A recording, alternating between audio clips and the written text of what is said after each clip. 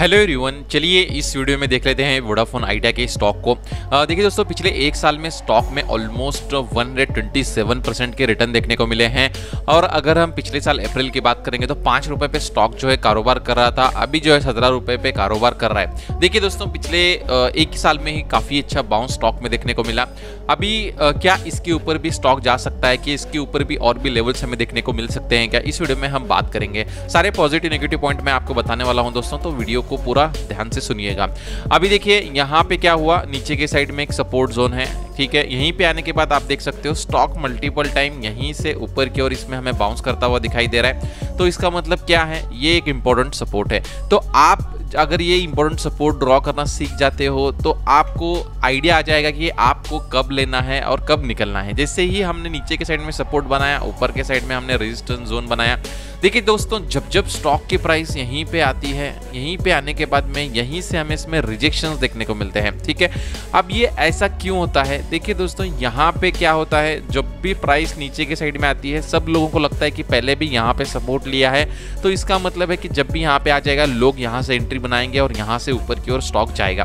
वैसे ही ऊपर के साइड में जब भी आता है तो लोगों को लगता है कि यहाँ से अब लोग इसमें से एग्जिट करेंगे और स्टॉक की प्राइस यहाँ से फॉल हो जाएगी। तो एग्जैक्टली exactly यही होते हुए रिपीट होते हुए दिखाई देता है। लेकिन हमेशा ऐसे होता है क्या? लेकिन हमेशा ऐसे नहीं होता है दोस्तों।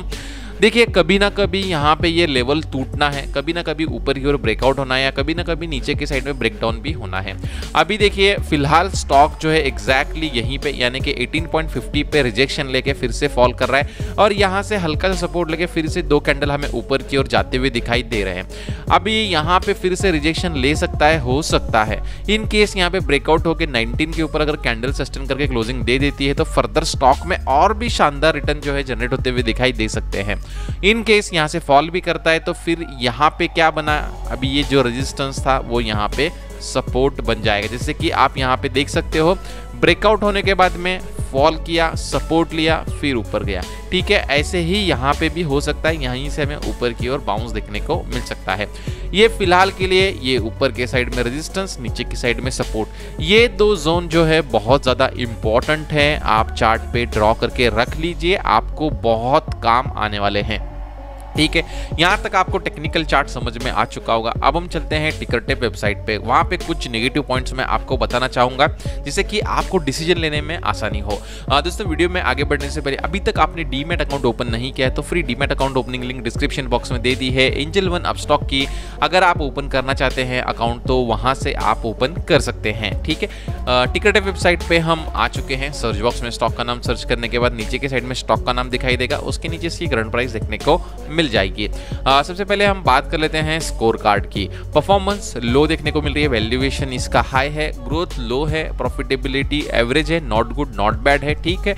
एंट्री पॉइंट देखिए दोस्तों entry point stock is in the overbought zone मतलब स्टॉक ओवरबोर्ड जोन में है तो एंट्री पॉइंट बहुत ही खराब बता रहा है मतलब यहाँ पे एंट्री नहीं बन सकती। और सबसे मेन इंपॉर्टेंट चीज़ रेड फ्लैग ठीक है? यहाँ पे moderate numbers of red flag देखने को मिल रहे हैं, जो कि अगेन नेगेटिव पॉइंट है। देखिए दोस्तों, जो भी स्टॉक में आपको रेड फ्लैग दिखाई देते हैं थोड़ा सा उनसे दूरी ही रहना ज़्यादा अच्छा रहता है, क्योंकि उस, हो सकता है वो स्टॉक में हमें बहुत निगेटिव रिटर्न देखने को मिल जाए। जैसे कि आप सभी को बताया लार्ज कैप है हाई रिस्क इसके अंदर हमें देखने को मिल जाता है। चलिए अब चेक कर लेते हैं फोरकास्ट एंड रेटिंग एनालिस्ट हमें क्या सलाह देते हैं बाइंग की। 16 एनालिस्ट 25 परसेंट बाइंग की सलाह दे रहे हैं, जो कि अगेन निगेटिव पॉइंट है। पी पीएस में बात करेंगे तो वोडाफोन आइडिया के भारतीय एयरटेल है, भारतीय एक्साकॉम है, भारत टाटा कम्युनिकेशन है, ठीक है? अगर इनकी रिटर्न्स की बात करेंगे तो आप देख सकते हो आइडिया का डार्क ब्लू कलर में हमें देखने को मिल रहा है सॉरी भारता भारतीय एक्साकॉम का जो है हमें यहाँ पे रेड कलर में देखने को मिल रहा है और भारतीय एयरटेल का जो है हमें यहाँ पे ब्लू लाइन में देखने को मिल रहा है। उस हिसाब से आप देख सकते हो काफ़ी अच्छे रिटर्न में इसके अंदर देखने को मिलते हैं, किसमें? आइडिया में, ठीक है? आई होप सो यहाँ तक तो आपको दी गई जानकारी समझ में आ चुकी होगी। तो दोस्तों डिसीज़न आपका रहेगा। वीडियो सिर्फ़ और सिर्फ़ एजुकेशनल पर्पज के लिए बनाई गई है। कोई भी बाइंग रिकमेंडेशन इस वीडियो में नहीं दी गई है। तो दोस्तों, चलिए मिलते हैं नेक्स्ट वीडियो में।